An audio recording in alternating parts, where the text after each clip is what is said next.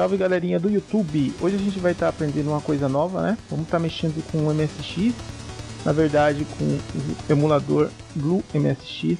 A gente baixa bem fácil, só digitar MSX no Google para a gente poder simular os códigos. Eu sempre quis mexer no MSX, mas eu nunca tive um. Eu já instalei o meu aqui. A, o painel principal dele é esse. Tem as funções aqui, né? De cartucho, solte, disco A, disco B, cassete, o HD, né? Disco duro, impressora, funções que o MSX possui, tudo simulado. O programa é bem bacana, né? Tem a seção aqui de simulação, tamanho da janela, outras opções aqui, vou deixar a janela pequena, tela cheia. Aí o pessoal coloca aí a gosto, né? Vou colocar no tamanho médio, que é o mais comum. A gente liga ele aqui como se estivesse ligando o computador. Vai aparecer a logo. Telinha azul, né? Já vai entrar aqui no Basic. Basic do MSX. Versão 2.1, né? O que está escrito ali. De 86. Beleza. O OK está dizendo que ele está preparado, né? A gente pode começar a digitar aí. Primeira instrução que eu vou colocar vai ser o print. Print para imprimir um texto na tela. Vou colocar aqui entre aspas, porque é, um, é uma string, né? Vamos programar. Se eu apertar Enter, ele repete o que eu fiz. Isso aqui não é um programa, porque ele não está registrado, né? É apenas um procedimento no momento. Para a gente poder programar mesmo, a gente tem que registrar ali. Vou colocar primeiro o número 1, vai ser a nossa primeira linha. E aí sim, se eu escrever uma instrução na frente, ela vai ficar registrada ok? Print, olá pessoal, ok?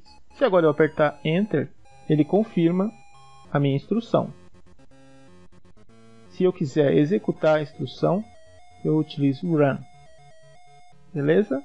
Olá pessoal, funcionou aí o nosso primeiro programa. Ok? Vou utilizar o CLS para limpar a tela, né? Como a gente usa no C também. A gente vai utilizar bastante dessas instruções, é necessário aqui, né? E agora eu vou digitar 10, que é o comum. Comum é fazer de 10 em 10, né? 10, 20, etc.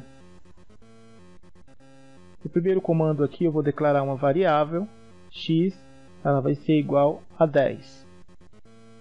O segundo comando na linha de baixo aqui, coloco 20, o y vai ser igual a 20 a gente vai fazer uma operação, né? É o Basic normal. A gente já fez tutorial do Basic, temos bastante coisinha lá, só o pessoal voltar bem no comecinho do canal. Mas eu vou estar tá mostrando o básico aqui para a gente poder aprender a mexer no Blue MSX. Ele tem muitas peculiaridades, né? A gente não usa como se usa no Windows, por causa da limitação dos computadores que utilizavam ele. No 30 aqui eu vou dizer que o W é igual ao X mais o Y. Bom, para poder exibir a operação a gente vai utilizar o print, né? Agora eu posso colocar a variável direto. Ela já tem o nosso valor ali guardado. Obviamente é um valor de tipo inteiro. Então vamos testar para ver, escrever run. É isso aí. Só que apareceu o olá pessoal. Beleza? Por quê? Porque eu não pedi para apagar, né? Então está registrado lá o nosso primeiro programa. Eu usar o CLS aqui. Eu vou utilizar o comando list e ele vai listar tudo que eu digitei. Ok? Tá aqui, ó. Número 1, print. Olá, pessoal. Para apagar, eu tenho duas formas. Eu posso simplesmente deletar aqui, né? Ou eu pressiono a linha que eu quero, no caso número 1, e aperto Enter. Já está apagado. Colocou um vazio ali. Se eu escrever list, Joia, joia, sumiu. Beleza? Se eu der um list novamente, ó, vai aparecer só o que eu quero. Bacana? É isso aí. Vamos testar. Run.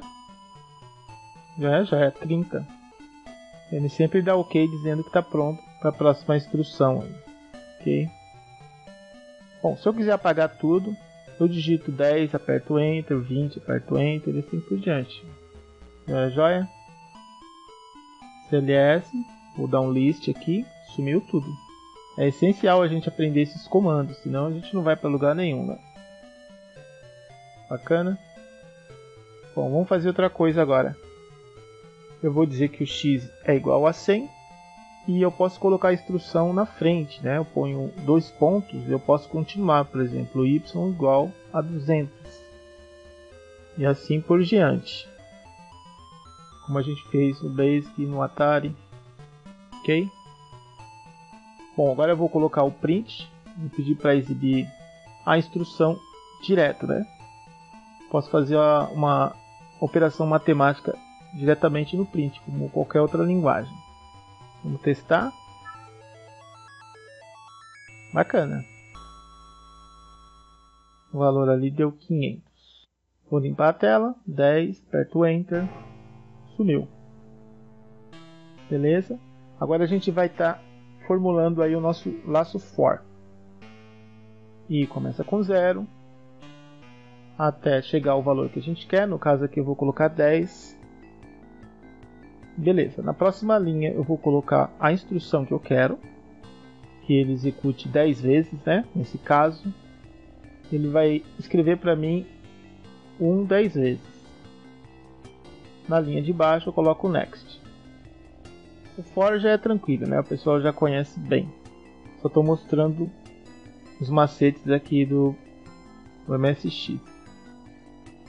Escreveu para a gente aqui 10 uns é, joia.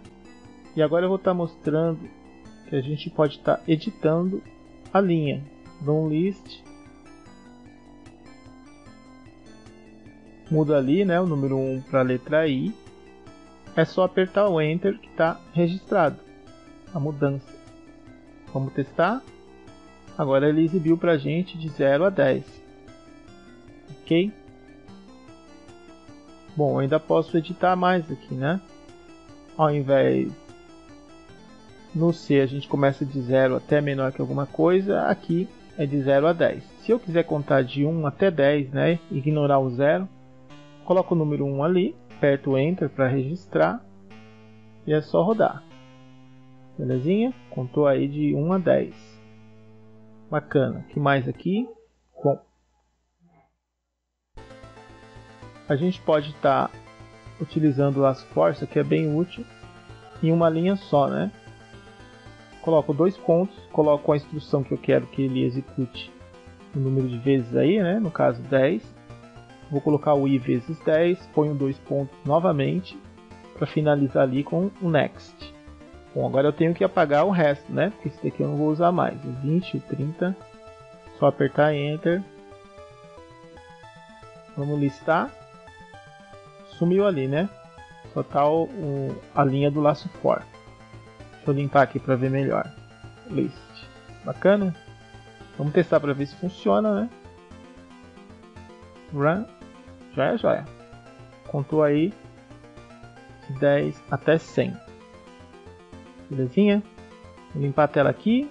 List novamente. E vamos para uma outra dica aí.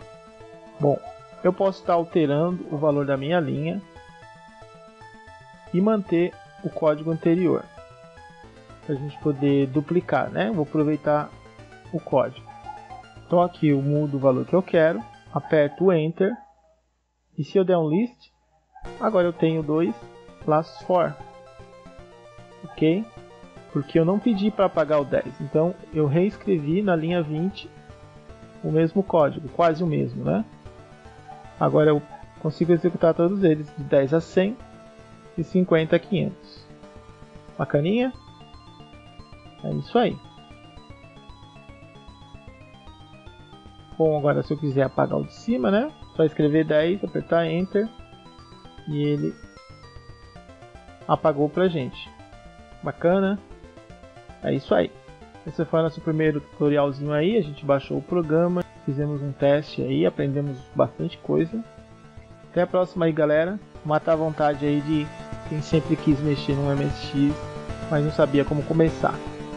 Valeu, até a próxima.